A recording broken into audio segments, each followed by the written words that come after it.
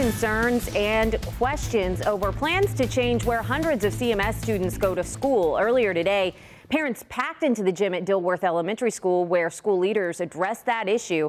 NBC Charlotte's Alex Shabbat is live outside the CMS administrative building. And Alex, what kind of uh, information are administrators sharing? Well, Brooke, school leaders are passing out maps like this with the new boundaries showing right there, but some parents say it's a lot to take in in a very short amount of time, and now they're calling for a delay.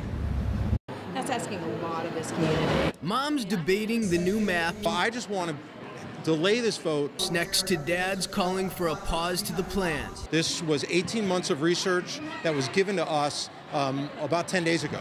So we just need time. It comes just weeks before the school board votes on proposed changes to where hundreds of CMS students go to school. That includes here at Dilworth Elementary, where they would be moving to Sedgefield School. I feel pretty positive, but it's just a little fast. Our neighborhood is being asked to carry the burden um, of other neighborhoods. In this public hearing, Superintendent Ann Clark addressed the issue of delaying a vote, saying it would also delay getting needed resources to Sedgefield schools. Because we would lose a summer potentially um, where we could be providing that targeted professional development. For some, the geography itself causes the biggest concern. I never in a million years thought that as a walker, I live two blocks away, never thought in a million years that this would be taken away. We just want to go back to having a neighborhood school.